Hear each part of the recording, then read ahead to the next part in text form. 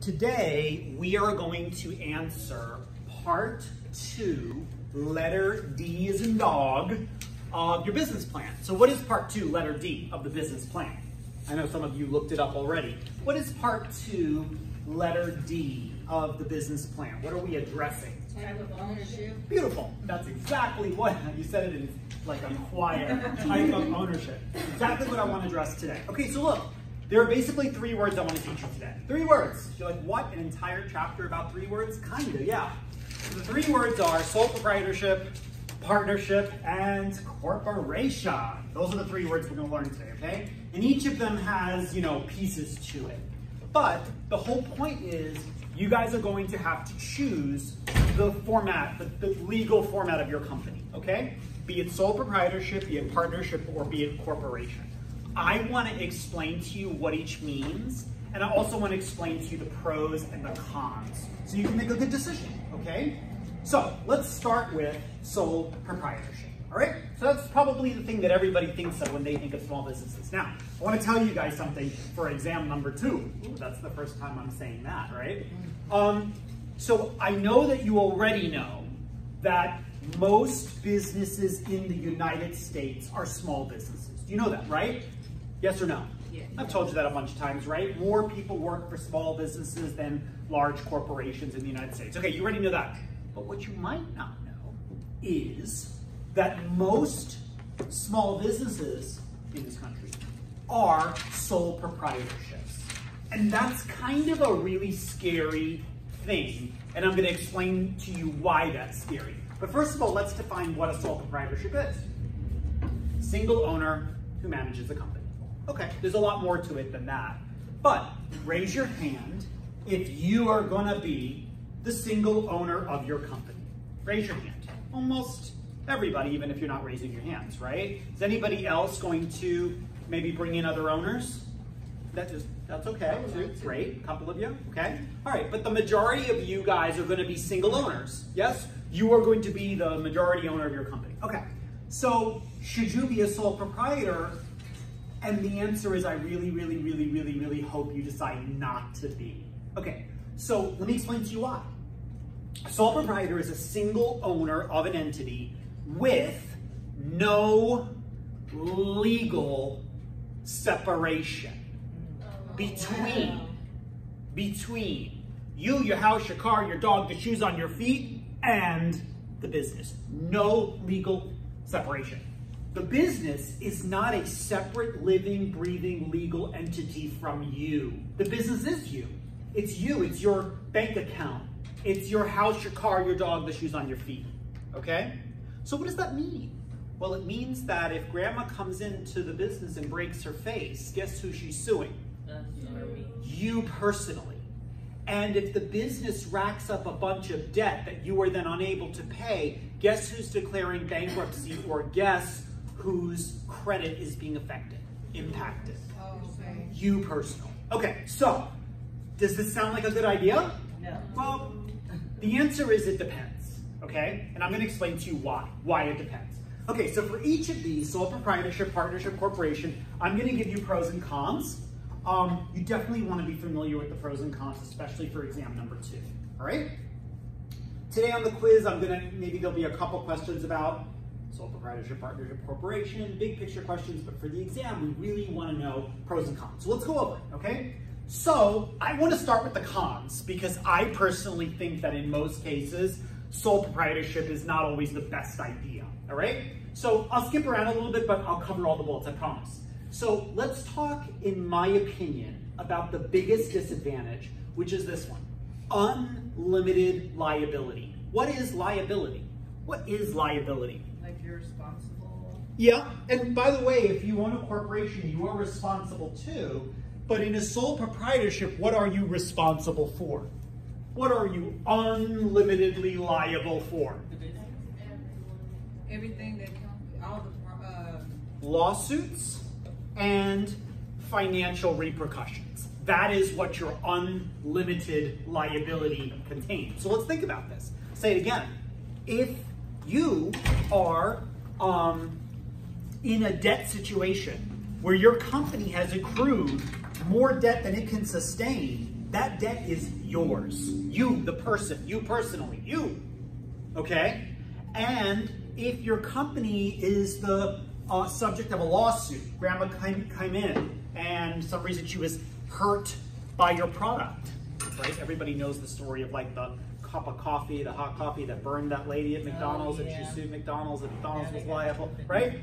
Customer gets hurt, poisoned, damaged, something by your product and service. Guess what? They're suing you. You have unlimited liability. Okay, so that alone should hopefully scare you a little bit or a lot, all right? Um, you know, I bring in a dozen cupcakes from my kitchen and sell them to you guys for 50 cents, and one of you chokes on them uh, and dies, you're suing me. My house, my car, my dog, the shoes on my feet. My shoes are Dolce & Gabbana today, don't take them away. All right? Okay, unlimited liability. The other thing is, sole proprietorships do not have continuity. Let's talk about that word. You're going to hear that word in the video later. Continuity. What does continuity or to continue mean? Anybody have an idea? So as a sole proprietor, your business does not have continuity. What does that mean? Continuity. Say it again. Okay. Yeah. Yeah, franchising. Um, technically, one could franchise, and we will. That'll be the last thing we talk about today is franchising. Technically, as a sole proprietor, one could franchise. Ideas? Okay, so here's the deal. You start a business. The business is a sole proprietorship. Let's say the business is successful. And now you want to do something like sell the business because it's successful. You pumped in a lot of energy and blood, sweat, and tears and money and value into the company. Guess what you can't do? You can't sell a sole proprietorship. And you might say, well, what the heck does that mean? Like, if I start a bakery and my bakery has an oven and furniture and decor and equipment, what do you mean I can't sell those things? Yeah, you can sell the real property. You can sell the stuff inside the business, but the business itself, because it's a sole proprietorship, it's not a separate living, breathing, living entity. You can't sell it. You know what else you can't do? When you die, you can't leave it in a will. You can leave all the physical property you own, sure, but the business itself is not transferable. That's the problem with sole proprietorship. It does not have continuity. You can't sell it, you can't leave it in a will, you can't pass it on, you can't do all of those things, okay? Now don't be confused.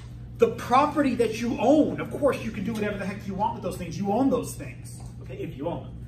But you cannot leave it in a will, you cannot sell it because a sole proprietorship is not a separate legal entity from you. Understood? Yes? Okay. Um, here's the other thing, I'll go up to the top. You cannot walk into a bank as a sole proprietor and take out a loan. And you're saying to yourself, Oh, you well, wait a minute, Conte, I can walk into a bank and take out a loan. Maybe you already have walked into a bank and taken out a loan. Maybe you've taken out a loan to come to Wade College. I want to ask you, how many of you have taken out a loan to come to Wade College? Don't raise your hands, I don't want to see. It's good. Listen, there's bad debt in this world and there's good debt in this world. You want to hear about bad debt? Bad debt is buying a really fancy car that you can't afford. You take out a big loan for a car and you drive that car off the lot, and what happens to that car? Yeah, literally the minute you drive, it loses value. So there's that's bad debt, right? Don't buy cars you can't afford. But good debt, a couple examples of good debt. One example of good debt is a mortgage. You want to buy a house, right? You don't have all the money you need for that house. You take out a mortgage on a house, but what's going to happen to that house? What's going to happen to the house? You don't know. No. Of course you know. It's going to appreciate in value, right? Aren't you going to do beautiful things to that house to make it increase in value? Of course. And the same thing is true with a college education. People who go to college make $2 million more than those who don't. So good debt is if you can't afford to just pay cash for college because you haven't saved for it, um, a college loan is not a bad thing. It's good debt because it's going to appreciate in value over time. You know what bad debt is? People who take out college loans and then drop out and can't get jobs. That's bad debt. Right? That's bad debt. That's just spending money on a depreciating asset like a luxury car. Anyway, so yes, my point is you can all walk into a bank and take out a loan, no problem, but the business can't.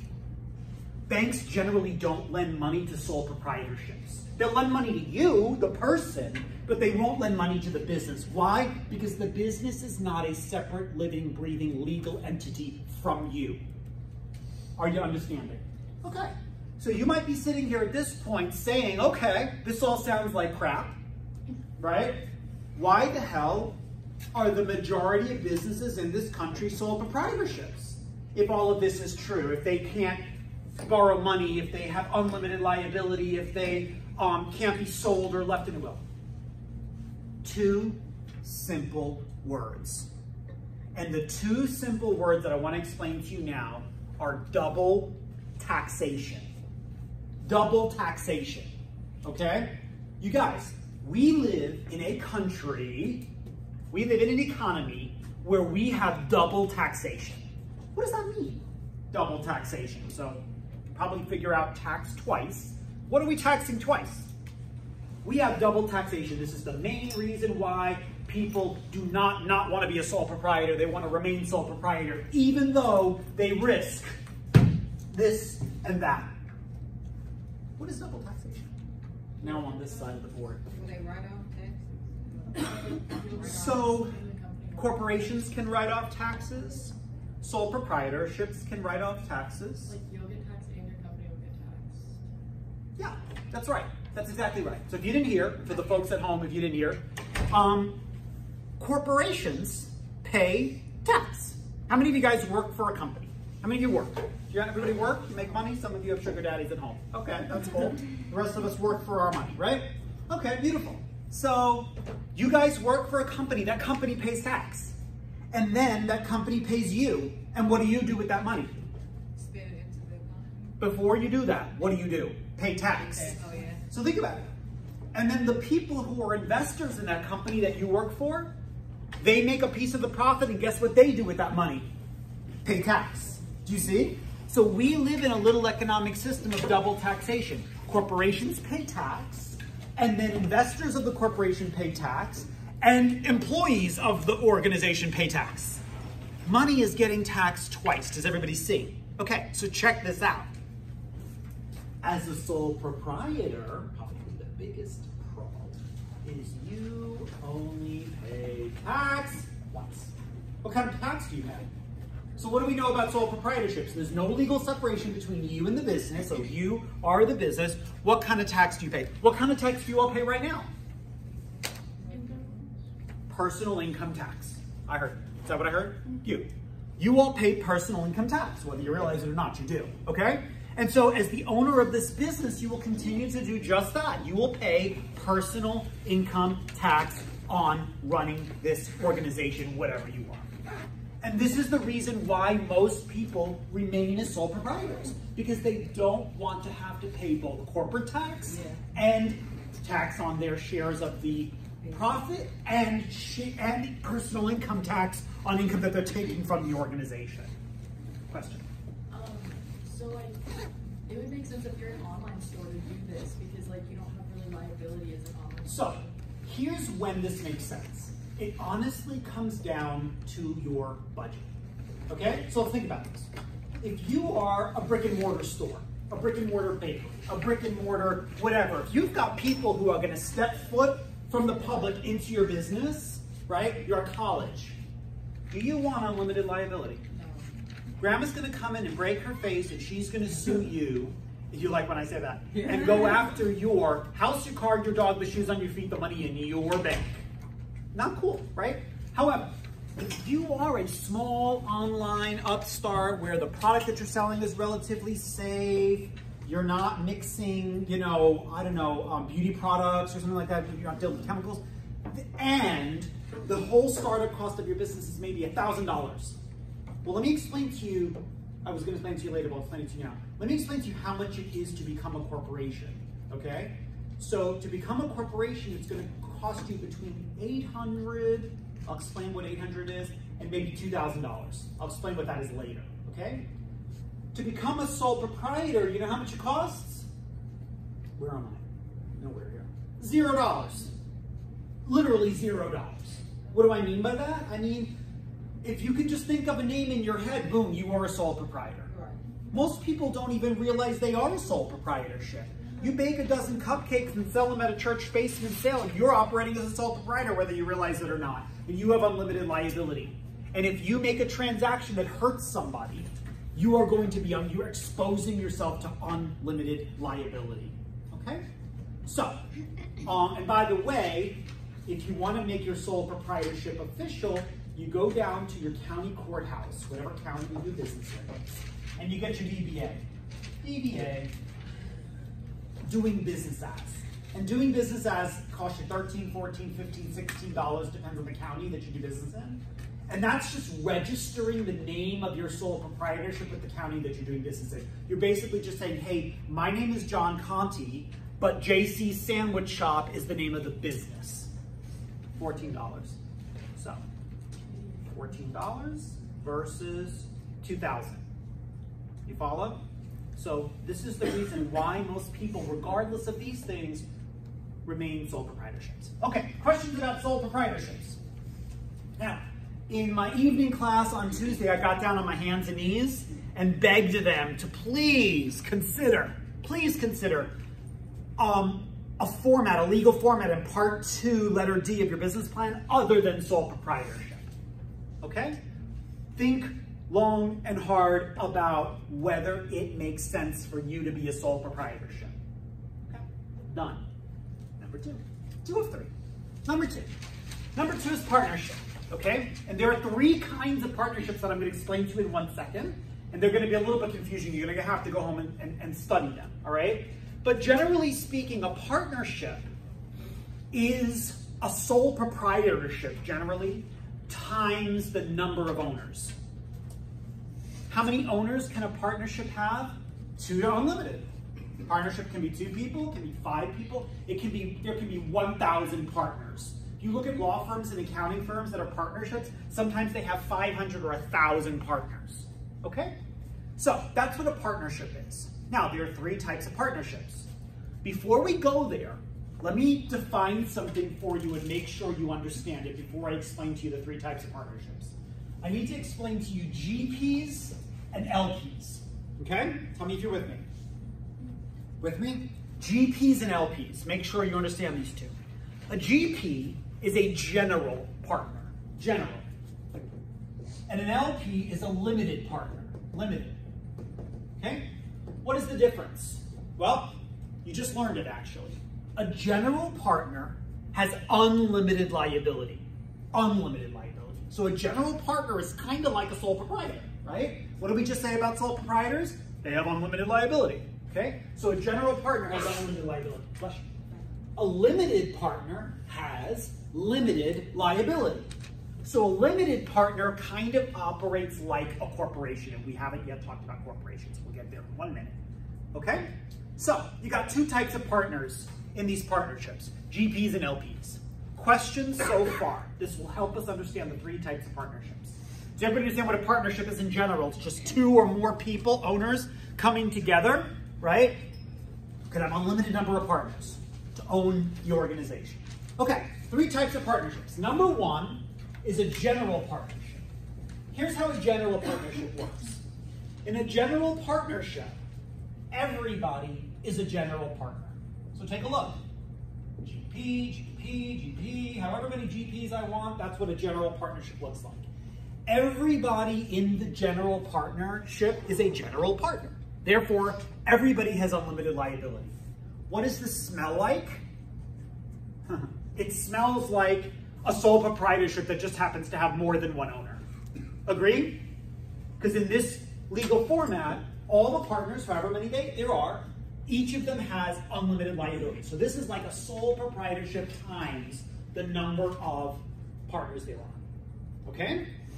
Number two, I'll go back and review, a limited partnership. Here's what a limited partnership looks like. You have one GP and then an unlimited number of LPs.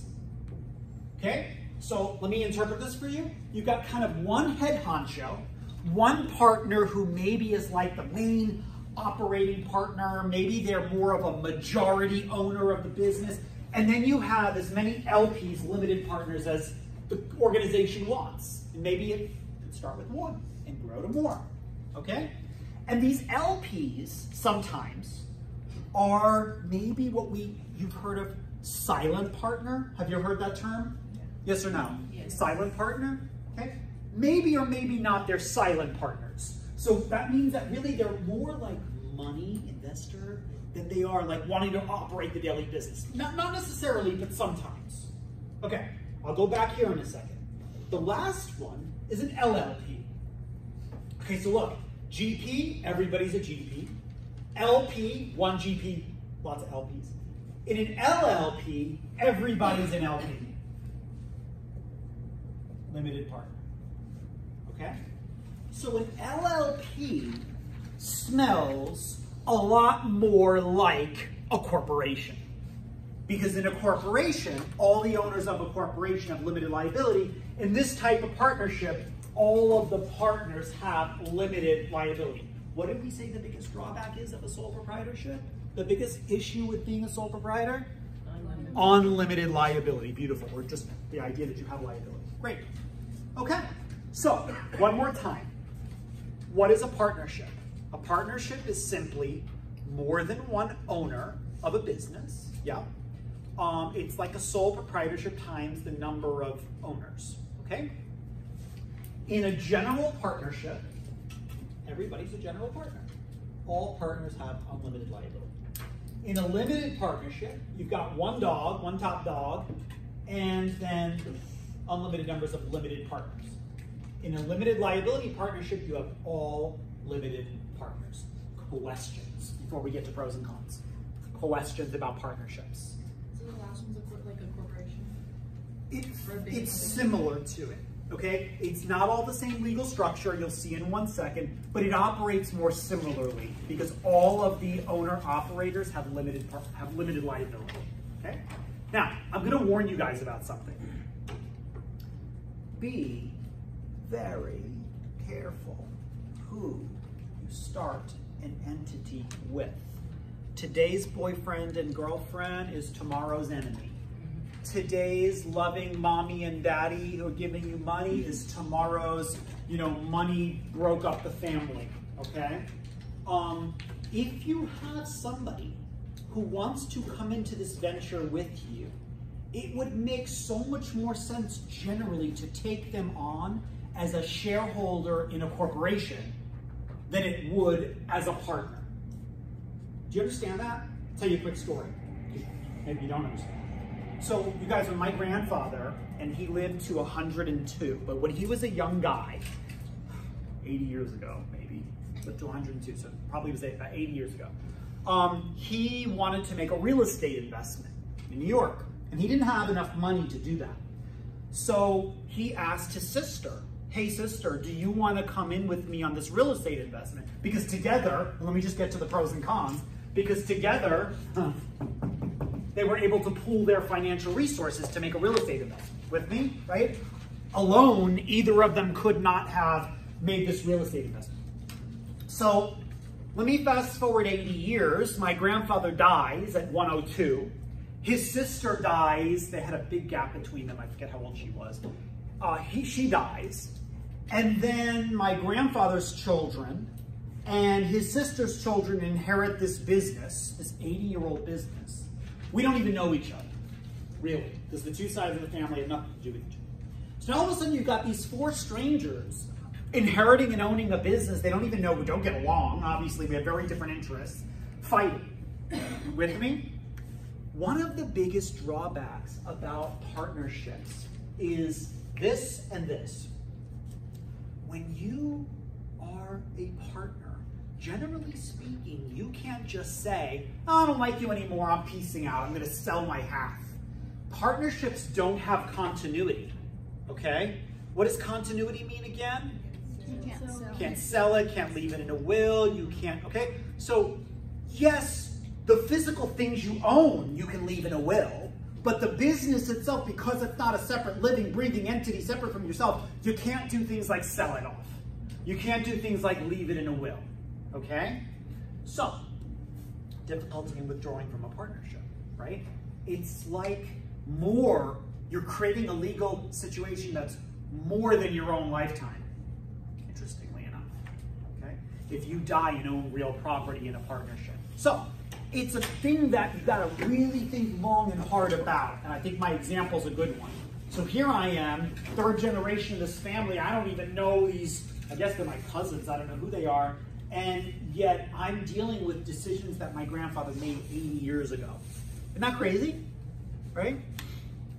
Okay, so let's talk more about cons. Unlimited liability for whom? Who has unlimited liability? The partners? The general partners? Beautiful, the general partners, okay? GPs in a partnership have unlimited liability. Their house, their car, their dog, their money in the bank, any property they own is now commingled in the business, okay? Um, potential for disagreements, lack of continuity, difficulty in withdrawing, so all of those examples. Um, on this side, so I want to talk about this one. How many of you, before my little story anyway, were thinking about a partnership? You've identified somebody that maybe you want to go into business with. Be honest, okay? I am going to guess that the reason that is true is because that other person or people have skills or knowledge or experience that maybe you don't have. Have I hit the nail on the head for somebody? Raise hands. Okay. What is that knowledge set or experience? The the business side of it. Great. I would say money for the person. that- Great. Sure. Sometimes it's not necessarily experience, but availability of money, investment. How about for you? Lisa? Yeah. Same. Money. Okay. Sometimes it's there's one creative person and there's one accounting finance person. Yeah. Sometimes it's um, somebody is on the East Coast and somebody's on the West Coast, and so together they can co-manage. Whatever the case is. Okay. So there's that. But let me say something to you. Can't you all just bring on these individuals as shareholders in your corporation? That would be a much better solution. Why couldn't you just bring on these individuals as shareholders in your corporation? We'll talk about that in a second. Okay, questions about pros and cons. Let's go over one more time. In a general partnership, all partners are general partners, right? And they have. Beautiful. In a in a uh, general partner, in a uh, sorry limited partnership, we have one general partner, and then all other partners are limited partners. In a limited liability partnership, everybody is a limited partner. Understood? It's just something that you're going to have to like look at, study a little bit, and memorize the order from general partner, limited partner, limited liability partnership. Okay, let's get to what I really want to talk about today. And I would be really thrilled and happy, if it makes sense, to see lots of your part two letter D's say, this is a corporation. Okay, so let's start with, all right, Mr. Conte, how could I be a corporation? It's just gonna be me at my kitchen table running this business. By the way, I don't even have a kitchen table, so I don't know, it'd be me at my kitchen counter. Um, please get out of your head the idea that a corporation has anything to do with size or number of employees. You all by your lonesome self at your kitchen table could be a corporation. Are you clear about that now? Yes? Mm-hmm. Yes? All corporation means is that you have set up a separate, living, breathing, legal entity separate from you. Separate from your social security number, separate from your bank account, separate from your house, your car, your dogs, the, sh- the shoes on your feet. Last week I said the dogs on your feet. okay, whatever. Okay, so how do we start a corporation? Literally, how do we start? Okay, so let me just go off the slide, away from the slide for a second. Pretty much there's two ways to do it. You can do it on the cheap or you can do it expensively. On the cheap, LegalZoom.com. Or there's a couple of other vendors, all right? How much do they charge? $7.99. Not $7.99 either. $799, okay? About 800 bucks. What does LegalZoom do for you? Well, they do this stuff. Okay, I'll explain what this stuff is in a minute. On the more expensive side, you can go to a local attorney who specializes in setting up corporations, and he or she will probably charge you about mm, 1,500 to $2,000. Okay, a more experienced person is going to charge you on the higher end. Okay? What do you get for $2,000? So the first thing they're going to do is they're going to draw up articles of incorporation. Okay. Legal ease, legal jargon. That's going to set up kind of the bylaws of your corporation. Let me just give you one example of a bylaw that would be baked into your corporation. Legal protection for yourself. So let me just throw this out there. Let's just say that you start an organization and that organization becomes really, really, really successful. You are the next social media platform. You are the next big clothing brand. You are the next big commercial interior design firm. You need to make sure that you have set up for yourself something called a golden parachute. What does that mean? A golden parachute. What does that mean? Something that you can land on or something to fall on. Good, all right. Headed in the right direction there. It's a good guess. Yeah? What do you guys think a golden parachute is? It would be a legal clause in your articles of incorporation to protect yourself. Your company gets super successful. What do you want to make sure happens? You have money. If someone sues your company, it doesn't affect you as a person. Okay. So as a default, the corporation does separate you. You, the person, are not the corporation. The corporation has its own credit, its own EIN number, its own everything. It's not you, it's not your social security number, it's not your bank account, it's not the things you own anymore. Legal separation. Golden parachute, I'm going to tell you. It is a policy that you adopt for how much you would need to be paid out in the event of a sale or a takeover. Right? So automatically you're baking in value into your corporation should it become successful and you either decide to sell or a company decides to try to buy you out. You have baked into this a golden parachute, a nice way to, you know, bow out. Does that make sense? Yeah. Okay, and then all, all types of other bylaws would go into this. Corporations have limited liability. Owners of the corporation, that's a quiz question today. Who are the owners of a corporation? If you by yourself start a corporation at your kitchen table, who owns the corporation? You. Okay, you're like, well, who, who else could own it? Me. But you who? You, the employee. You, the uh, CEO. Or you, the stockholder? The CEO. No. You're the stock- Think about it. Mr. Davros is the CEO of Wade College, but he is not the owner of Wade College. Stockholder, correct. You, the shareholder, the stockholder, the investor, are the owner of the corporation. Do you understand that? Not you, the employee. You may never be an employee. I don't know. I don't even know if you're going to work for this organization or not. You probably are, right? But it is you, the shareholder, who owns the corporation. Do you understand that?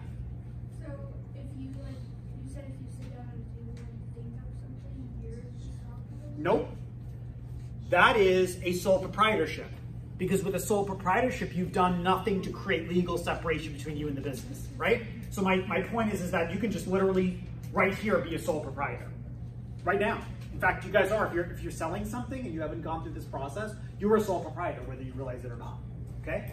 But my point is, is that as the shareholder of this corporation, maybe the only shareholder, your house, your car, your dog, the shoes on your feet are separate from the organization, its financial liabilities, etc. Okay, so um, LLC, we're actually going to talk about three different types of corporations, three different types of corporate setups, but an LLC is basically a limited liability company. Okay? And we're going to talk more about types of corporations in one second. But I just want to finish my point here. The owners of the corporation are the stockholders, shareholders, investors. All those words mean the exact same thing. Are you clear about that? I can use the word stockholder, shareholder, investor. They all mean the same thing. They are who own the corporation. You can be the only shareholder in your corporation and the CEO and an employee, whatever you want to be. But the owner of a corporation is the stockholder, the shareholder. Okay? Now, by the way, there can also be institutional investors. Let's talk for one second about that. Does anybody have maybe a parent? Oh, I lost a button. You all saw that? At least somebody can sew it for you. That's right. I'm in a good spot. It's going to sew my button back on for me? It's a good brass button too. Anybody? No, you're like, no, I'm afraid to touch that casual jacket. Um, I'll let somebody sew my button on for me. No worries. Keep it safe, all right? Um, yeah, all right. Want to get up? Want to get started right now? just kidding, just kidding. But I'll meet me after class. Awesome. Um, what was I saying? So, oh, how many of you have a mama, a papa, a boyfriend, a girlfriend who maybe like wants to help you financially with your startup? Okay, great. So those are examples, and you might have thought of them five minutes ago as a partner. I want that to get you out of that mindset. Those are examples of individual shareholders in your corporation. You take on your mother, your father, your boyfriend, your girlfriend, your friend as an individual shareholder. Do you understand that? No. They make an investment in your organization and they become a shareholder in the organization. If they also want to be, if you want to hire them as an employee, I don't care, whatever that is, but they claim a stake of ownership in your company as a shareholder. Okay? In this case, not as a partner. There are no partners in a corporation, only shareholders, only stockholders in the organization. Okay, but there also might be institutional investors. Does anybody know what an institutional investor is? So an individual investor is just the person, your mother, your father, Mr. Conte maybe, right? Maybe I invest in your business. I'm an individual investor. What are institutional investors? I'll give you two words. Could be banks. Um, and generally when banks invest, um, when banks invest, not, I'm not talking about a loan that you're gonna pay back and the bank's gonna be out of your hair forever. But when a bank invests, they're usually call either venture capital or private equity firms. Have you heard of this? We have lots of these in Dallas. Many, many, many. Dallas is, you go through Highland Park and you see those mansions, yeah? Down Preston, you know what I'm talking about? If you haven't, you need to go see them because they will blow you away. I can promise you most of those big mansions, those are private equity venture capital people. What does a private equity or venture capital firm do? What do they do? They're like a bank, except you're not banking there with a checking and savings account. What do you think those banks do?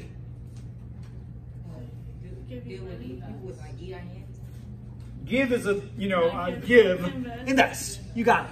They invest in the next big thing. And let me tell you, these venture capital private equity firms, man, for every like 100 startups they invest in, 90 of them kaput.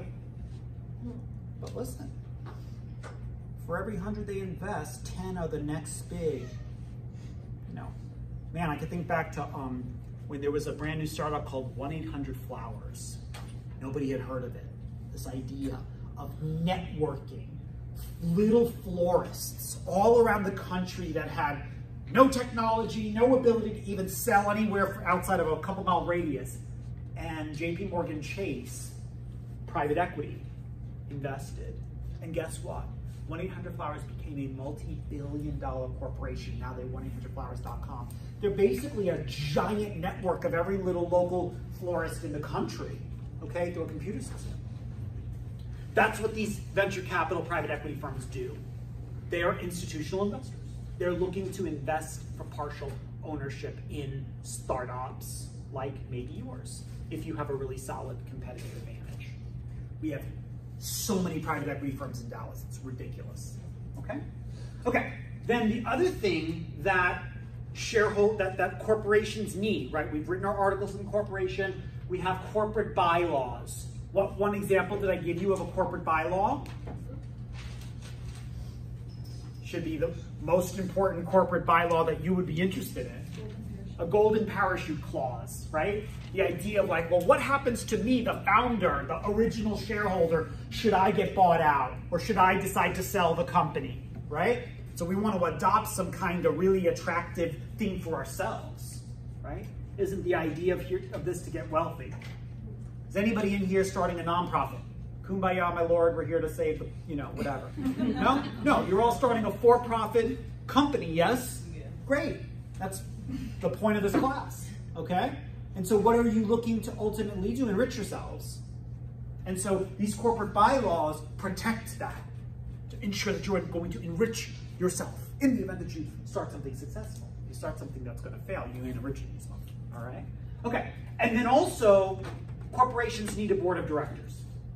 And let me just say this, this generally, this could just be like, you know, somebody you know, a mentor, somebody that maybe somebody from the industry, probably should not be employees. Okay? Because a board of directors is supposed to be who the CEO reports to. You.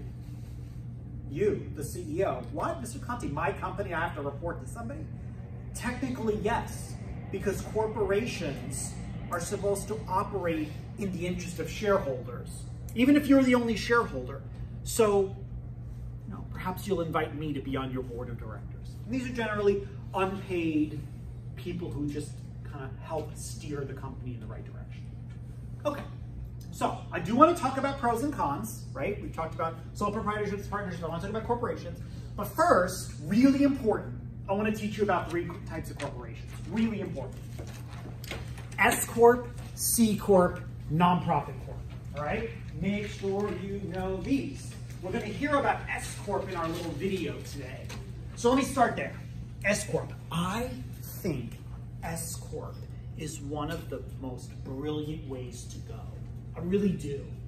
What did we say the biggest pro of being a sole proprietor is? Who remembers? What is the biggest pro? Why do, even though it's so dangerous, why do most businesses elect to be and stay and remain sole Oh, proprietors? single tax. Perfect. Okay. Let me throw down on you S Corporation. You're going to love it. Ready for it? S Corporation does not pay corporate tax. Feel like I'm Oprah. you don't get to pay tax, and you don't get to pay tax, and none of you get to pay tax. Okay, why not? Why does an S corporation not pay? What is it, a nonprofit? No, no, no, it's any for-profit organization. This could be you, okay? Well, what it does is it takes all of its net income, okay, the net income that it makes, right? and it has to, it has to distribute that net income to the shareholders. So basically, this type of corporation does not retain its own net income. Now, don't get me wrong. It makes money, it pays bills, right? But the net income, the remaining income, I'm not going to quite call it profit, but almost, has to get distributed to the shareholders. And then guess what the shareholders do? Well, yes, that's what I just said. So the net income of the corporation gets distributed to the shareholders, but then guess what the shareholders have to do? Pay tax. Understood? So in this situation, you're only getting taxed on the money. What? Do you understand? Yes or no? Tell me if you don't. Tell me if you don't. I heard I see a couple of heads shaking. Okay. So remember what, a, what, what I said earlier, corporation is, right? How many of you guys work for a company? Raise your hands, okay? So your company has to pay tax on the money it makes. You don't see that as an employee, obviously, but I promise you your company pays corporate tax. And then shareholders pay tax on shares of profit that they make. And you are paying tax on the money you make from the corporation, yes? What tax do you pay again? What tax do you pay at Home Depot? Ordinary income tax, okay? In this situation, this little setup, in this little way to kind of get around the government, the S corporation does not pay corporate tax. Why not? Because it takes all of its net income and it has to distribute it to the shareholders. Now, for you all, you might be the only shareholder, right? So what do you have to do? You as the owner of this corporation have to take all the income, net income, the income left over after you've paid your bills. And then you will pay only income tax on it. What does it smell like? Yeah. This smells like a sole proprietorship, but with all the legal protections of a corporation. Okay, there's only one drawback. You know, there's always got to be a, a, a catch, right? Of course. So the catch is simple. You can only have up to a hundred shareholders. Okay, so you might say, Mr. Consi, like, I'm never gonna have a hundred shareholders. Okay, that's fine. But what does this then all of a sudden prevent? What can an S corporation never do? Correct. Good. Yes. What did she say? She said go public. Okay. An S corporation can only ever remain private. You can never be a publicly traded S corporation. Why not? Because how many shareholders does a publicly traded corporation have? Unlimited, millions, billion, uh, not billions, but hundreds of millions maybe of shareholders. Okay? So only private corporations with less than 100 shareholders can be an S corporation. Where the corporation does not file corporate taxes, all of the shareholders get all of the net income and then they pay tax on that net income. Okay? And so, man, as an individual, if you are a sole shareholder of a corporation, this is the perfect legal setup. Do you get it? Because what, what else are you going to do with the income of the company? You're going to take it, yes? Yes or no? I don't know, maybe some of you are going to throw it off the George Washington Bridge. I don't know. But for the rest of you, you all are going to take the income of the, of the corporation, the net income. So this is the perfect way to avoid having to file corporate tax returns and simply be liable as the only person to get the dividends from the company. Okay, that's an S Corp. C Corp is the type of setup that you become when you eventually think either you're going to have more than 100 shareholders, more than 100 investors, or if you ultimately have the goal of going public. Okay? Lots of companies, lots of startups, especially if you're a tech startup or some type of you're the next big thing, you have the anticipation of going public. You're going to sell shares of your company stock to a public stock exchange. Okay? Then you cannot be an S corporation because you'll never be able to do that. So you're a C corp. Unlimited shareholders, preferred for IPO. Who knows what IPO is? No? Initial public offering. What is an initial public offering? It's the first time a corp, private corporation sells shares of stock to the public. Okay? And this is when, you know, the next big thing makes rakes in their millions and billions. Okay? And then obviously C corporations pay tax. They pay. They file a corporate tax return. Okay? Does everybody understand the difference between S corp and C corp? Does an S corp pay tax? No. Do they not pay tax because they're like a nonprofit? No. Because they do good? No. Why don't they pay tax? Why does an S corp not pay tax? Because what? Go ahead, say it again. Uh, they're private. Well, C corp is private too, and nonprofit is private as well. We'll get there in one one second. You got it exactly. Because all of the money goes to the stockholders, the shareholders. Okay, and, and not all the money. We got to pay our bills and we got to operate our business. We got to pay our employees, but the net income, the income left over, goes to the shareholders. Okay, and what do the shareholders do? What do they have the burden of doing? Paying tax. Got it? Okay, easy. Yes. Can I talk about the board of directors? Yes, board of directors, Uh, yes. So, like, they don't get paid or anything, like, why would you be on the board of directors? Yeah, uh, people do it for prestige. People do it because they like to say that I'm on the board of directors of these corporations. Um, lots of people do it because they might get discounted ability to invest. So they'll sit on your board of directors for free, but they're going to buy shares of stock to become investor in the company. So, is it normally like the majority, like they have, like, the most stocks in the company? Maybe it depends. Maybe maybe not. Okay. Um, Wade College's board of trustees. So we have a board of trustees. They get paid absolutely nothing, and they have absolutely no investment in, the, in in Wade College. They do it simply because they're you know because they want to give back and they want to help like oversee the the direction of our organization. So and then you know in other like my old boss at Ralph Lauren, I probably shouldn't say this on camera, but um, she was on the board of trustees for Weight Watchers. You guys don't know Weight Watchers Corporation? They paid her like three hundred thousand dollars a year just to like go to a meeting, not a Weight Watchers meeting, a, a board of trustees meeting. They paid her like three hundred thousand dollars a year because she was a division president of a really big company, and they wanted her, you know, feedback, advice, direction. So that was a sweet gig, right? and unlimited Weight Watchers too. Okay. Anyway, so does everybody understand the difference between S corp and C corp? S corp, how many shareholders? 100 or less. C Corp, how many investors? Unlimited. Beautiful. S Corp doesn't pay tax. C Corp pays corporate tax. Okay, nonprofit. So, what is a nonprofit organization? You probably all know, right? What is a nonprofit organization? Well, it's an organization that does some type of community good, whatever it is. It could be you're a religious institution. You are an institution that saves the whales, that saves the planet, that saves the who knows what. Okay? What a nonprofit does is it files a 501c3. Have you heard of this? Mm-hmm. Yes? 501c3. Now let me tell you something right now. This is a report form. The government does not play around. Mm-hmm. You can't, you know, you can't say, well, I'm going to start a nonprofit. I'm going to make people look cute because my my goal in the world is I'm going to make people look cute. That that ain't a nonprofit, okay? The government doesn't just allow anybody to deem themselves a nonprofit. Why not? Because nonprofit organizations they're exempt from tax. Period. You with me?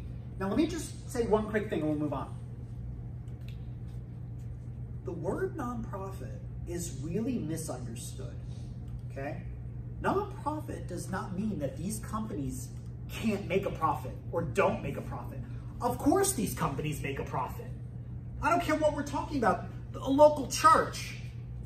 If they didn't make a profit, how do you think they would operate, right? Church has to run profitably. It has to pay the electric bill. It has to pay its rent. It has to pay its, its land lease. The, the preacher has to drive a Mercedes S-Class and have a private jet okay? And, and, and, and, build these massive structures and live in a 16 bedroom house, okay? How else would pastors survive in this business? So even nonprofit organizations, they absolutely have to run profitably. It's just that 80% of their income has to go back out to doing whatever the benevolent thing is that they are claiming they do. You with me? So Only 20% of the income that they take in can be used for the private jet and the operation expenses and all that kind of stuff. What were you going to say? So where? No, I, first Amy.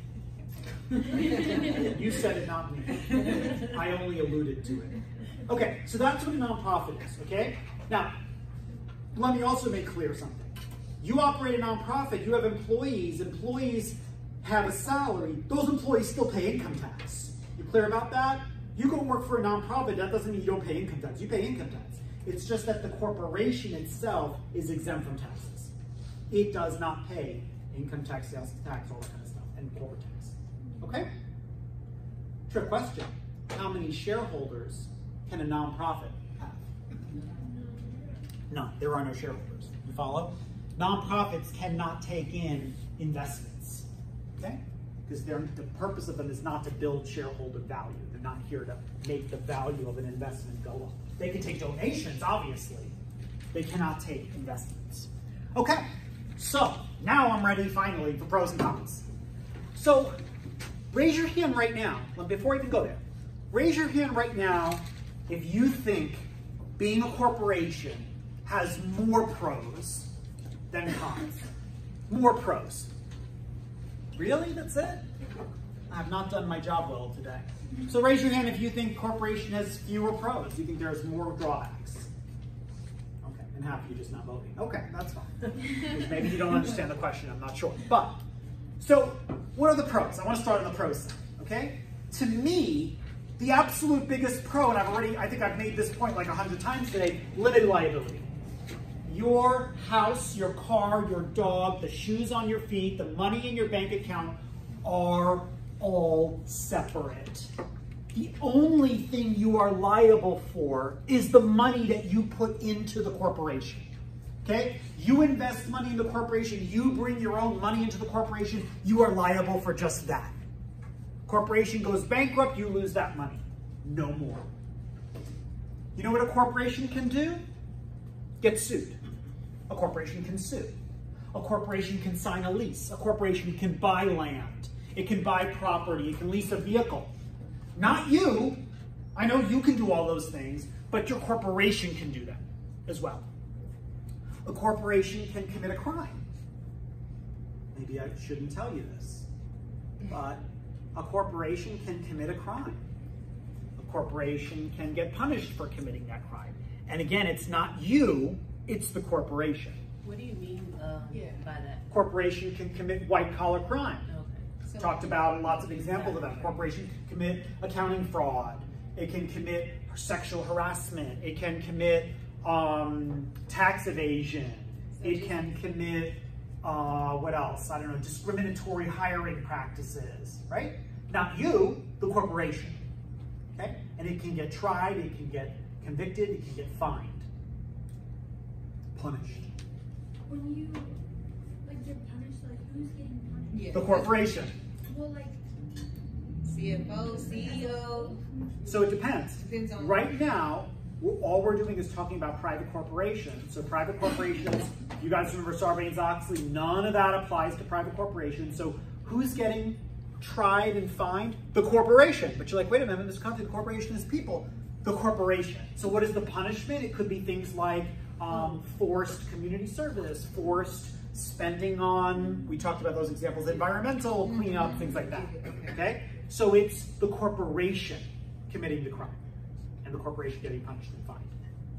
Okay, limited liability. Is everybody now 100% crystal clear as to what that means? Yes? It is a legal separation between you, your social security number, your personal property, and the companies. All right?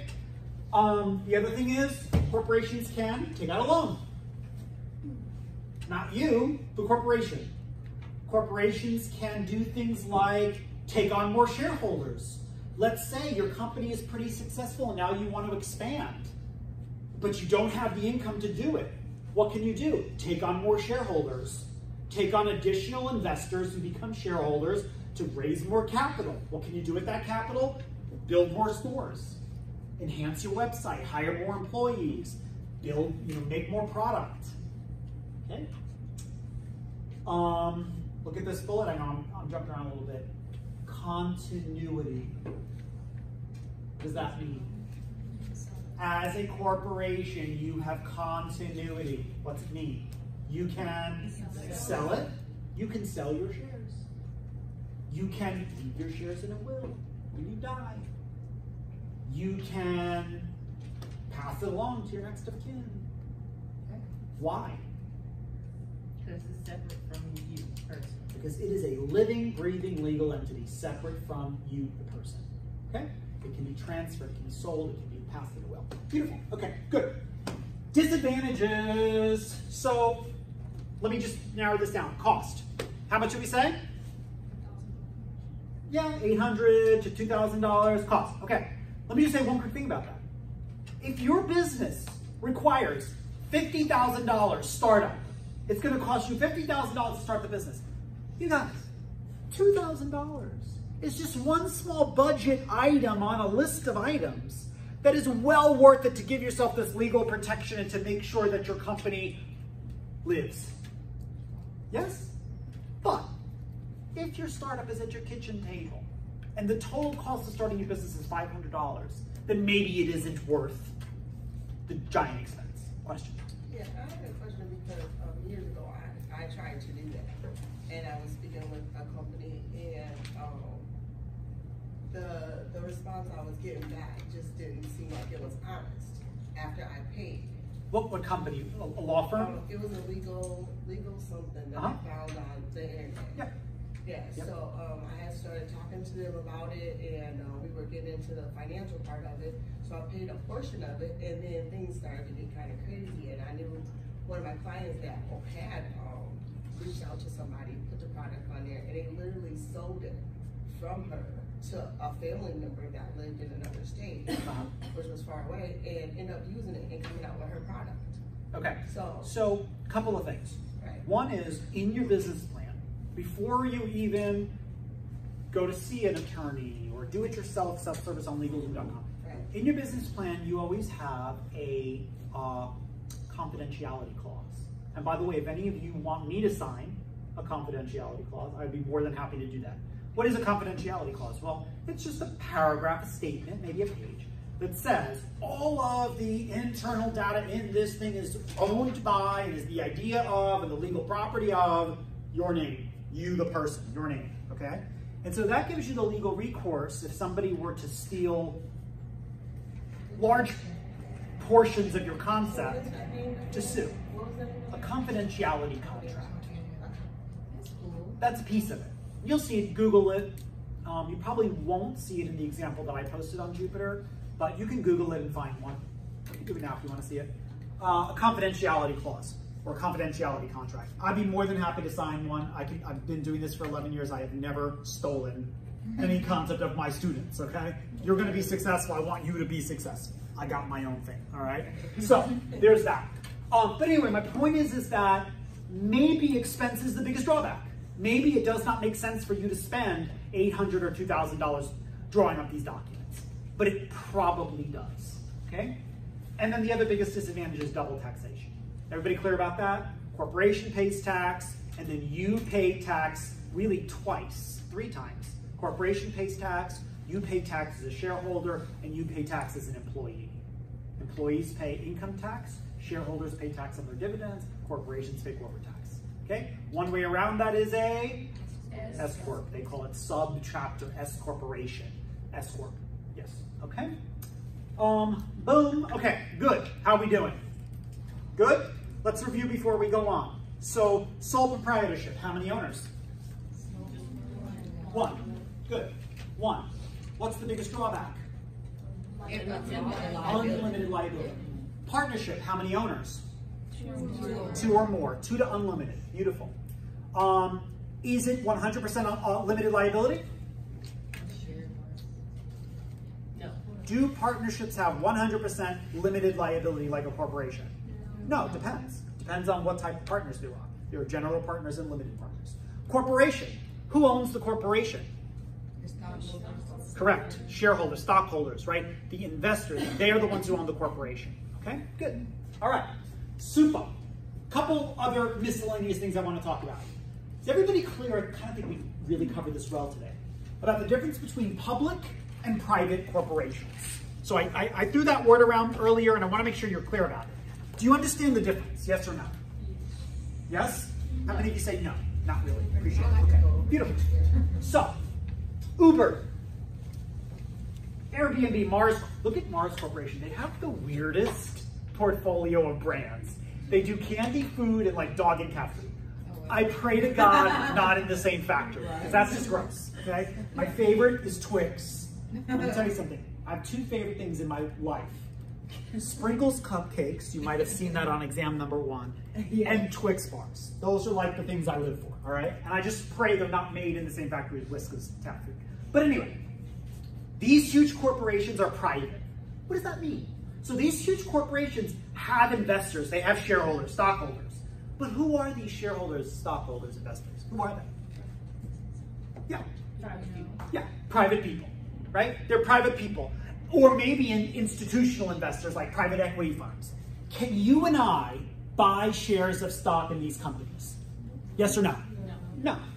And I'm grabbing, oh, I can't grab my phone because I'm using it to film this. But um, if I were to grab my phone, I would look up their stock symbols. They don't exist. Walmart, Facebook, and Procter & Gamble are publicly traded companies. Can you and I buy shares of stock in these companies? Yes. We can go on the New York Stock Exchange, look these guys up. Um, I looked up Tuesday, Walmart was trading for $112. So if you wanted to buy one share of Walmart stock, it would cost you $112, okay? And you can buy it. How do you do it? I'll show you in two weeks when we get to our little financial lecture, which I'm very excited about. It's my favorite lecture this. Okay? Publicly traded companies. Who owns Walmart? The public. Got it? Who owns Walmart? Any member of the world who owns shares of stock in Walmart. They are the owners of Walmart. I own Walmart. Not the whole thing, a very, very tiny fraction of it. Okay? Publicly traded companies are owned by public shareholders. Private companies are owned by private shareholders. What's Wade College? Private. Private. We are a private corporation. Who are the shareholders at Wade College? Me. No, you are not. You know how I know that? Because you cannot buy shares of stock in the company, neither can I. Why not? Right. Because you can't go on the New York Stock Exchange and look up Wade College and find it and invest. Who owns Wade College? Miss Wade and her husband and her two their two daughters and the five grandchildren, they are all the shareholders of the corporation.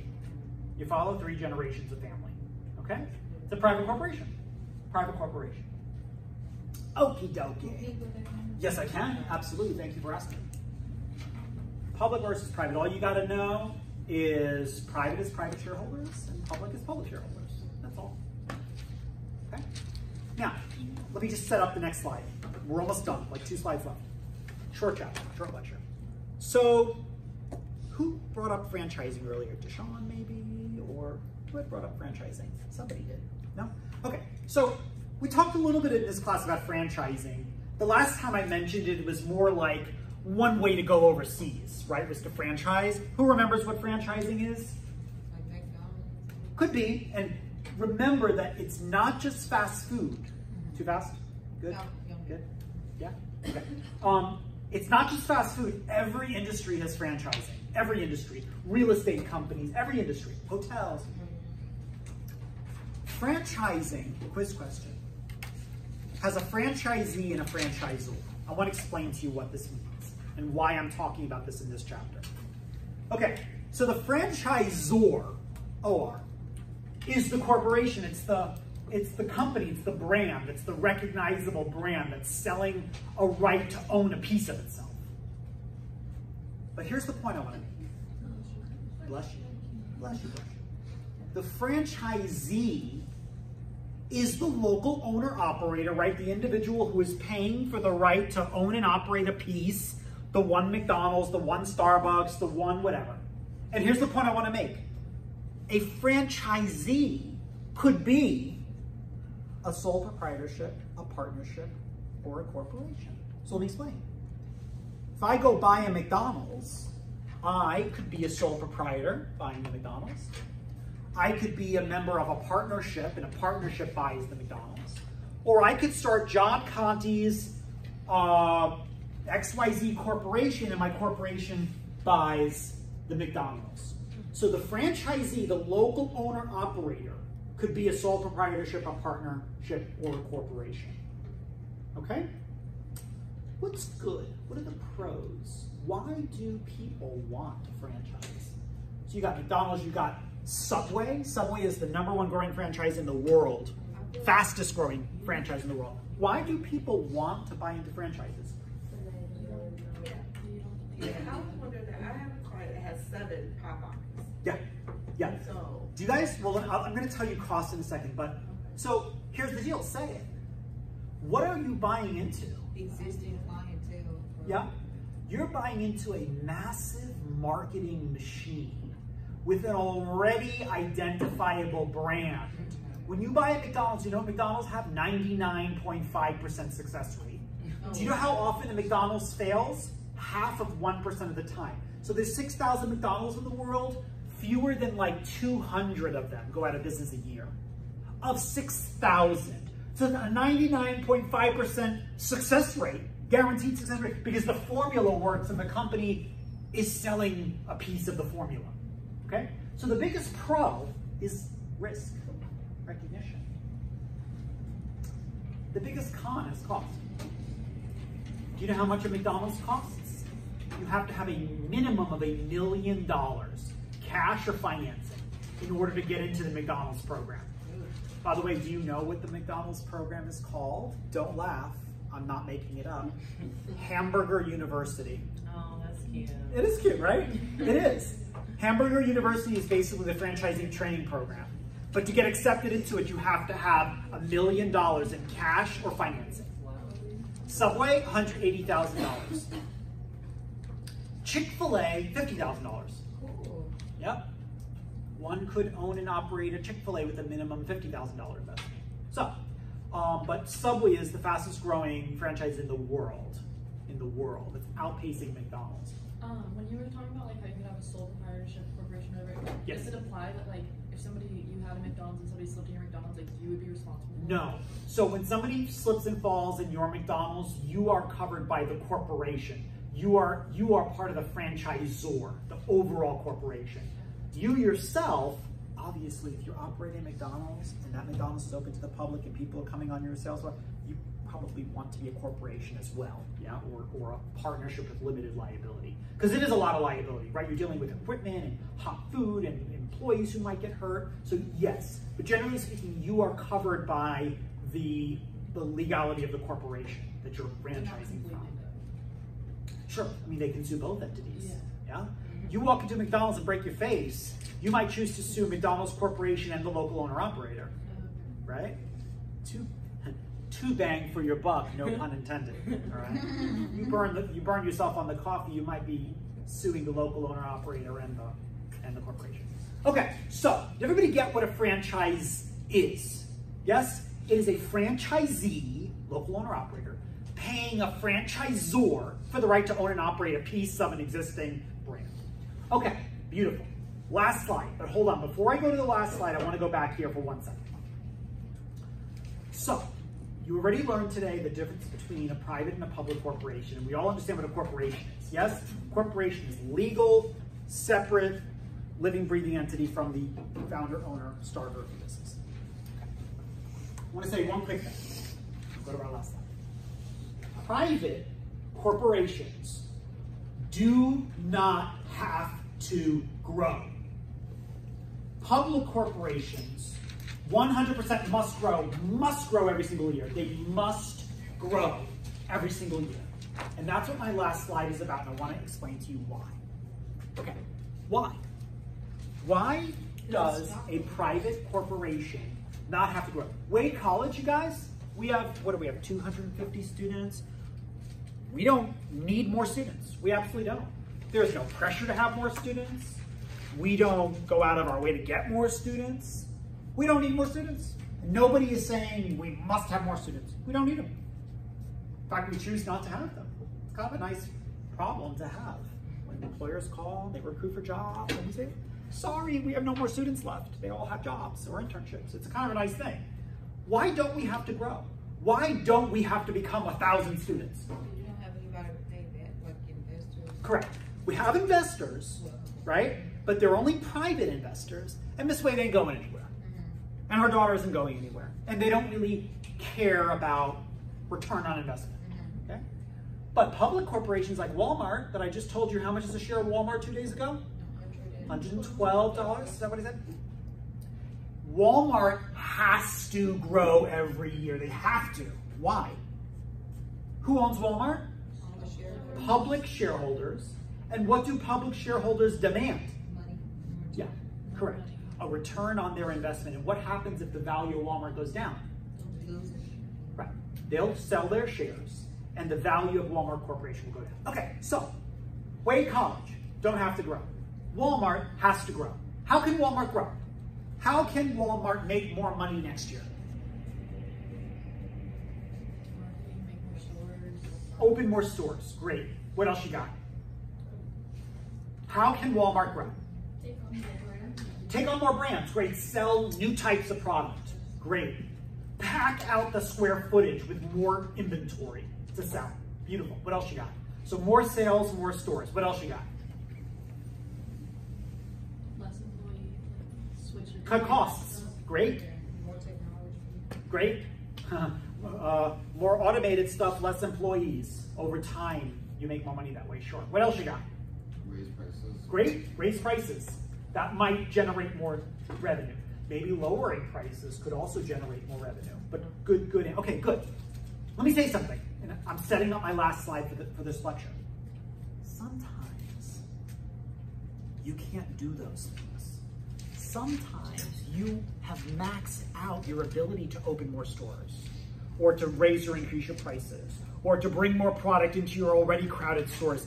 Sometimes you've got to figure out as a publicly traded company another way to grow. And that's what I'm about to show you, okay? Once you go from being private to public, like companies like Louis Vuitton, Moet Hennessy. Familiar? Yes or no? I they were all. No? Well, let me show you. Once upon a time, there was just Louis Vuitton. And Louis Vuitton, at the time, was just leather, leather goods. Just hard goods, okay? There was another company called Moet, Champagne. And by the way, only champagne made in Champagne can be called champagne. Did you know that? Yeah. you not all sparkling white wine can be called champagne unless it comes from champagne. Okay? Otherwise, it's just sparkling wine. Champagne is a, a, a name brand? Champagne is a city. It's a city. And so only sparkling white wine that comes from champagne can be called champagne. Anyway, so that's Moet champagne. And then Hennessy is cognac. It is a dark spirit, brown spirit. All right? Hennessy. These three companies were private companies. And then they, hold on, merged. Now, by the way, I want you to label this final slide growth. Growth. And the first two words have to do with buy, and the last two words have to do with sell. Okay, what am I talking about here? Ways in which publicly traded companies grow. Ways that are not open more stores, sell more products, do more marketing, lay off people. Ways that companies grow. Okay, so take a look. These three companies became one new company. Louis Vuitton and Moet and Hennessy became LVMH, a new corporation. That's a merger. A merger is where two or more companies come together to form a new company. Now let me ask you a question. Louis Vuitton had a marketing department. Moet had a marketing department.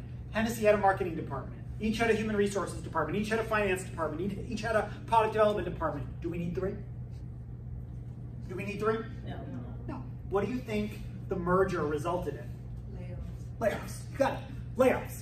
And layoffs enable now these three companies to operate more profitably. Right? Now we're running three businesses with fewer, little overhead, less overhead. See? Okay. That is one way for companies to grow by merging. Okay. Now, since this merger, LVMH every year has purchased companies. Take a look. Take a look at Sephora. Did you know? Where is Sephora? Where is Sephora? You see it? Under selective retailing. The Where? far right, bottom right. Far right bottom. Here, boom, thank you, good eye. How many of you knew that Louis Vuitton owns Sephora? Why would they own Sephora? Say it again. It's profitable. They're making money from It wasn't when they purchased it. In mm-hmm. fact, most of these companies were not profitable when they purchased them. We'll get to that point in a second. But why would LV want to own Sephora? Well, think about what's in Sephora. Think about what is inside of Sephora. What's in Sephora? Skincare. Fragrance. What brands of makeup, skincare, and fragrance? Oh, and high end, yeah. All of those. Yeah. Okay. So it makes more sense. It is a ret- it is an ability for them to retail their own goods. Not 100%. They also carry other brands, but a lot of what's inside Sephora is LVMH brands. It's another opportunity to sell more of their own goods. See? Okay. So, what is an acquisition? An acquisition is where company A buys company B. Right? Company A buys company B. Now, company B gets to keep its name, its brand, its image, its everything. It stays itself. But company A buys company B. Now, I kind of just answered my own question, but when does a company like LVMH acquire another company? So here's LVMH. They have purchased over 61 companies. When do you think they purchase a company like Acqua di Parma, an Italian fragrance house, or um, Dior, or Givenchy, or Marc Jacobs? Marc Jacobs was the first American brand that LVMH purchased, acquired. When? Yeah, Exactly. When the value of the company is low, but LVMH believes what? Then you make money. Just like buying a house. When do you want to buy a house? Agree? Anybody in here want to buy a house at the top of the market where you can pay maximum dollar for it? Of course not. When do you want to buy a house? No, when the market is low or when you can buy something that you can get on the cheap and do some stuff to it. What do you think LVMH does to these companies when they buy them? That's marketing, get rid of product that isn't selling, right? Fire people that are not performing. You got it. Okay, so does anybody know from the news lately what company LVMH, this might be like number 62 or 3, is bidding on? They're offering like $15 billion to buy this company. Anybody know? Nobody? It was huge news last week. What? No. No. They, if you look at all of their portfolio of brands, they only do super luxury. They really only focus on super luxury. Nobody? Tiffany and Company. Where am oh, I? Oh, wow. Boom, boom, boom. There we go. Boom, Tiffany. They are making a $15 billion bid on Tiffany and Company. Why? Because they really don't have a stronghold on luxury jewels, right? Fine jewelry. Okay? So, does everybody understand what a merger and an acquisition is? Yes or no? Merger, two companies come together, they form what? A new company. Great. LVMH, Louis Vuitton, Moet, and Hennessy, three companies came together, they formed a new company called LVMH. Acquisition is where a company A buys company B, right? When if Louis Vuitton gets to purchase Tiffany, that's an acquisition. How many acquisitions has LVMH made? 60? So, both of these are companies buying companies. Number three, divestiture. To divest something means to sell. If I divest this button of mine has fallen off, I mean, it means I'm going to sell it. So, let me just go back to my little chart. Every year LVMH sells a company, sometimes two. A couple of years ago, LVMH actually sold Acqua di Parma, the Italian fragrance house. They bought it when the company was a hot mess. They did some really amazing marketing. How many of you know Acqua di Parma? They sell it at Neiman's and Nordstrom's and Saks. It's a beautiful fragrance house. And they sold it. You know what they sold it for? A giant profit. See? So in some years, LV grows not by selling more bags or more fragrance, but by selling a company. Do you get it? Do you get why companies divest? Why do companies divest? Two, two, just say that word we wrote. Grow. Grow. All of these are things we're going to do to grow as publicly traded companies. Okay? We merge to grow, we acquire to grow, we divest to grow. Who's lost? No worries. So, I am John Conte Sandwich Shop. I am selling as many sandwiches as I possibly can. Okay? There's no other way for me to grow. I'm selling as many sandwiches as I can. So I may choose first to merge with another sandwich company. John Conte Sandwich Shop might merge with, you know, the dude down the block and we become the same brand. So now we're growing. How are we growing? Because it's double the sales. I might decide to buy a sandwich shop. So I'm going to buy a second location.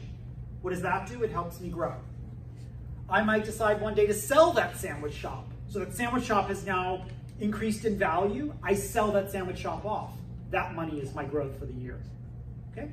So, merger, company A and company B become company C. Acquisition, company A buys company B. Divestiture, company A sells company B. Okay, last story. Spinoff. Now I'm going to talk about the rest of the stuff on my little slide. How many of you know the company Express? How many of you know Express? The retailer like in all malls across America, right? Express? Okay. About, I don't know, 20 years ago, Express had a little fixture in the back corner of its stores. And on this fixture was bubble bath, body wash. This was the 90s, so like body spray. Do they still make body spray? Is that still a thing? Yeah? Body spray, like in the little spritz thing. And I don't know what else. Lotion. All right? And that product was really, really, really successful. So successful, and it only came in like two fragrances. One was Freesia. I'll never forget it. So 90s. Freesia. I forgot what the other one was. So successful that this company, Express, spun it off into a whole other business, even though it was its own business, called Is it Bath and Body Works? Bath and Body Works. Wow. Bath and Body Works, which Bath and Body Works and Express are both owned by L Brand, same corporation. Okay, spin-off. Here's another example. Nordstrom. You guys all know Nordstrom? Yeah? Anybody work for Nordstrom? Do you work for Nordstrom? Nobody? Out of a bunch? Oh, you do? Hi, welcome. Nordstrom. And by the way, it's Nordstrom. One Nordstrom, two Nordstrom, three Nordstrom, four Nordstrom. Nordstrom, no S. Oh. Pet peeve of mine, Nordstrom. So, Nordstrom designed a private label brand called Façonnable. It sounds French, but it, it literally made in Seattle, Washington. Okay? Mm-hmm. And so they sold this brand Façonnable on their retail sales floors, and it was super successful. Okay, people really treated it like it was a designer brand, and it was very popular. So much so that Nordstrom wound up spinning Façonnable off as a separate freestanding business, and then actually eventually divested sold it. And you want to hear something crazy? To this day, Nordstrom actually buys Façonnable to carry in its stores. Isn't that crazy? Isn't that crazy? Like it was a product that it manufactured itself, sold it as a separate company, yet it still carries it in its stores. Okay, these are spin-offs. What is Company A doing? Like making the, the, their company from what they already have. Beautiful. Yeah. Basically, they're incubating something from within. Do you get it? They're incubating something from within and spinning it off into a separate standing business. Victoria's Secret did this with Pink, mm-hmm. right? Also L Brands. So that's spin-off. Why do companies do this stuff? Perfect. Ready for a quiz? Yeah. Here we go. Actually, no, we're gonna watch a video first. Ta-da, Amy's in. Okay, let me set this up for exam number two. Exam number two. You want to know the question? Yes? What three major decisions did Amy make about this business, to set this business up? What were the three major decisions? How many of you guys have been to Amy's Ice Cream in Austin, Texas? There's nine of them. One is in that really cool neighborhood, SoCo, South Congress. Nobody? It's like a big thing in Austin, this like local, you been? You, you know it? lived in Lived in Austin? Cool, so you know Amy's, right? It's a big, it's a thing in Austin. You guys, Amy was planning to go to med school and then wound up getting into this business. She made $3 million overnight. Three million, three, overnight. One store became nine stores, okay? So, what were the three major decisions that she needed to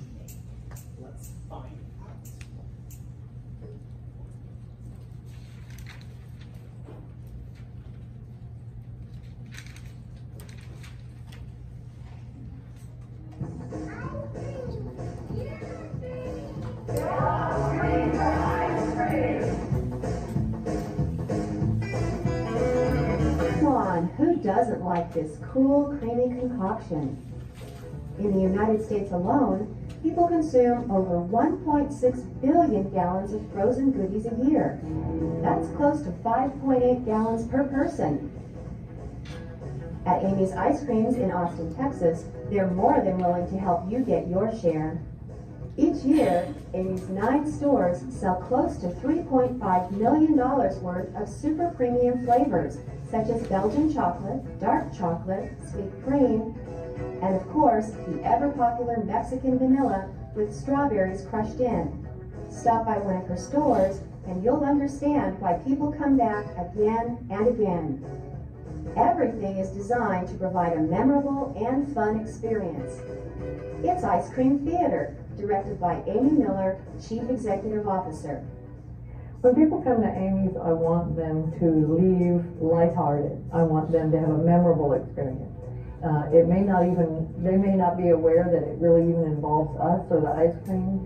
It may be between, you know, their family or, you know, a first date or, uh, or somebody, you know, who just met somebody there perhaps or even had a human moment with one of our employees.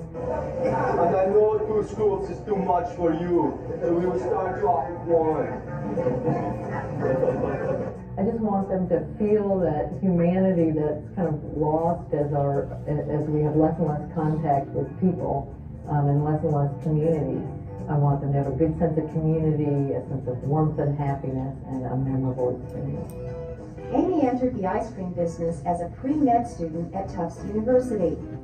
Working for Steve's Ice Cream in the 1980s, she helped to open stores in Manhattan and Miami, Florida. But as she approached graduation, she faced a big choice, stethoscope or ice cream scoop. I chose to enter the ice cream business because when I was in college, I was undergraduate um, biology and psychology and pre-med and did research in a, in a medical lab and, and at the Harvard Primate Center. And I also, for money, made, went, worked an ice cream shop, Steve's Ice Cream.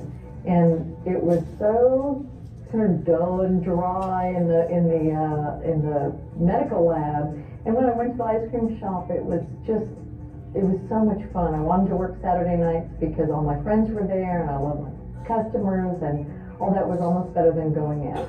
And so it really drew me in because it was so much fun. And ice cream itself is a panacea in life. People, if they're in a bad mood, they come into an ice cream shop to cheer them up.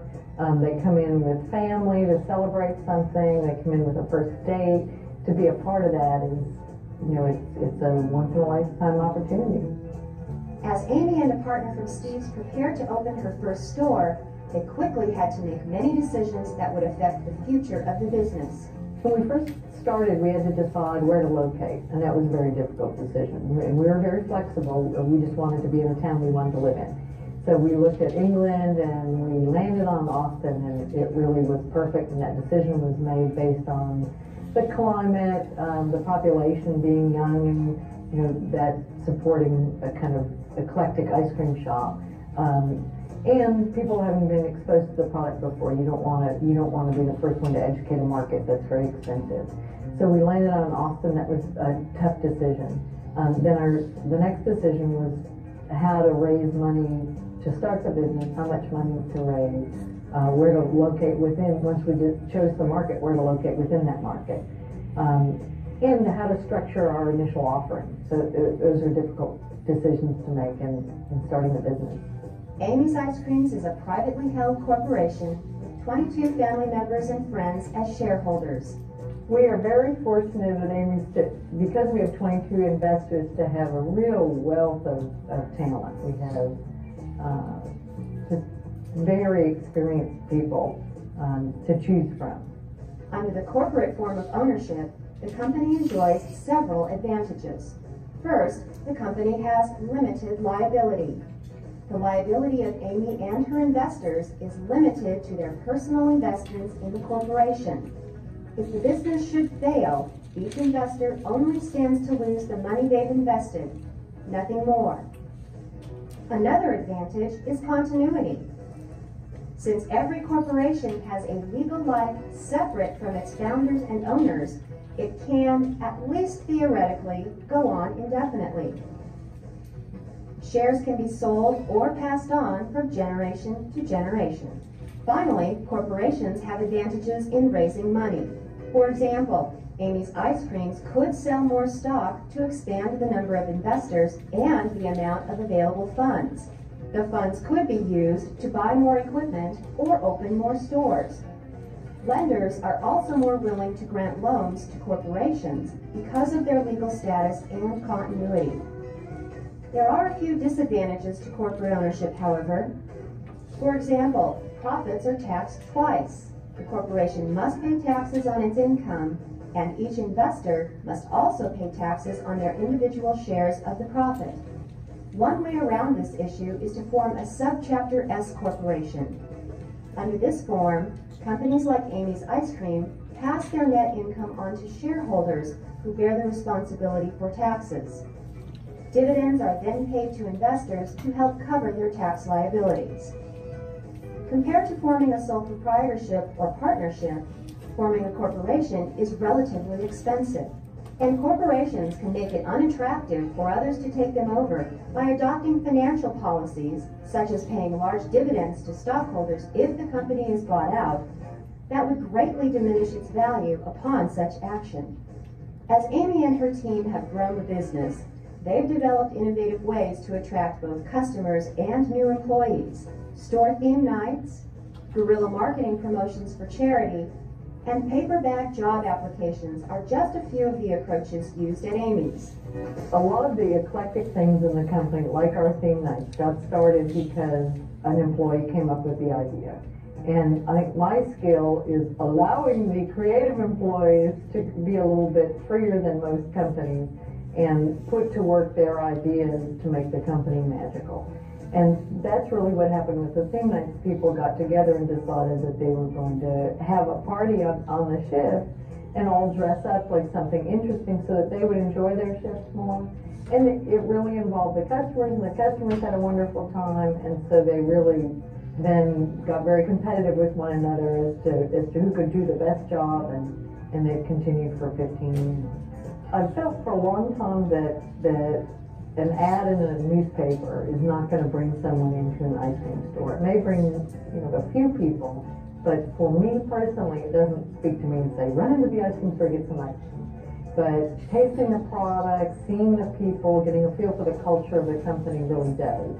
So what we do rather than advertising is take that same budget and invest it in doing charitable events. And that really works, I think, better than direct advertising. It's kind of a symbiotic relationship with your community rather than um, you know just advertising and paying the you know the fees in the in the newspaper. For an application at Amy's, uh, people you may expect your your form, but but we don't give that to people. We give them a blank white paper bag, and we ask them to be as creative as possible with it. And the idea again um, because we ran out of applications, and, and an employee gave a bag to someone who just said write down your information, and the applicant came back with something really creative that caught our eye. And, and it's rather dull going through a lot of applications, so this really made it fun for us.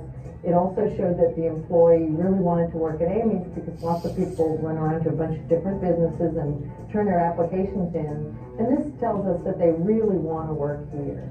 And we've gotten incredible pieces of art on those white paper bags. We've gotten um, helium balloons floated in where the bag is the basket and it's filled with things like their Girl Scout awards and pictures of all their friends and just things that tell you who they are a lot more than an application would. And so we've kept that up. And of course, the interview is what really gets somebody a job because their people skills and their ability to identify with our mission that, that we hire on. But you'll definitely get more attention if you do something spectacular. Amy's goal of helping people create happy ice cream memories is met every day. You feel it when you walk in her stores. You taste it in each flavor, and you see it on the faces of employees and customers. She wouldn't have it any other way.